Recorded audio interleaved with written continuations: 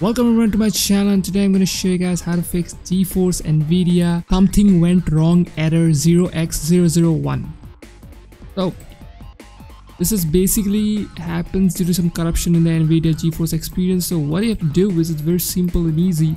The first and foremost most important thing is to do is that you have to update your NVIDIA driver.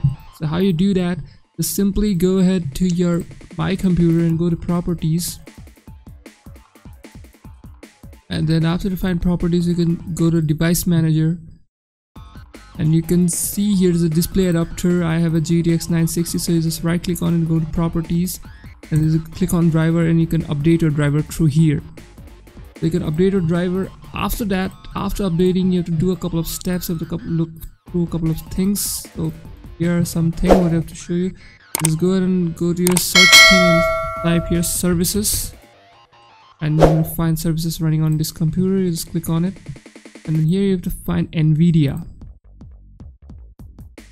Here you can see a couple of things from nvidia. There are three things.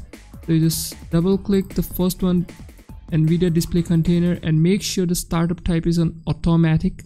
If it's in something else then you just place on automatic and then click on start and hit apply.